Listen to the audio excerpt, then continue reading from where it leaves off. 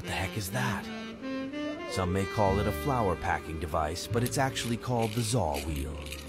If you pack some flowery goodness in the mechanism, you'll be able to pass it around and share it to your homies, but don't forget to tell them it's strictly for flowers only.